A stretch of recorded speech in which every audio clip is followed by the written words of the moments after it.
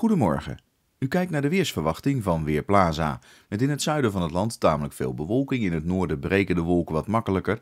En dat betekent dus ook vanochtend in het noorden regelmatig ruimte voor de zon. In het zuiden blijft het nog hoofdzakelijk grijs. En vooral de zuidelijke provincies hebben nog te maken met enkele buien. Vanmorgen is het 10 graden. Vanmiddag loopt de temperatuur verder op tot maximaal 15 graden. Maar daarvoor hebben we wel een beetje zon nodig in het midden van het land. Dat lukt waarschijnlijk wel. Meeste zon in het noorden en meeste wolken houden we in het zuidoosten. Vanavond nog een laatste bui in het zuidoosten, maar langzaam maar zeker wordt het ook daar droog en begint het op te klaren. Temperatuur in de avond rond 9 graden, in de nacht uiteraard wat verder zakkend. Dan morgen een dag met eh, wisselend bewolkt weer. Soms zon, soms wat stapelwolken. En vooral in het oosten van het land kan ook nog een enkele bui vallen. Misschien ook in het zuiden. Temperatuur rond 14 graden en een stevige noordwestelijke wind. Donderdag duidelijk meer ruimte voor de zon en minder wind. En dat geldt ook voor de vrijdag. En dan zien we de temperatuur langzaam oplopen.